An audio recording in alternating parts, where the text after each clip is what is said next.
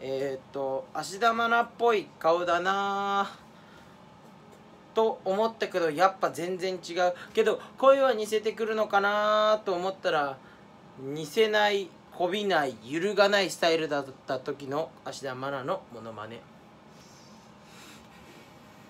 おじゃまあこれだけっていうね。いややっぱその自信のない動画ってこういう風に最後に解説つけたりするんですよ。ねキレが悪いって？そんな知らねえよ。キレが悪いとかじゃないんで僕がやりたいようにやるだけなんですよ。キレが悪くたっていいんです。ね。えそれそれ包丁包丁普通こうだけどこう反対側にして持ってキレ悪いよって言ってもそれが好きだから僕はやる。キレが悪くてもそうやってやる。本来の用途と違ってもそれが好きだからやる。うん。もう他の意見なんか聞かない。面白くなくたっていい。いやそれじゃダメだ。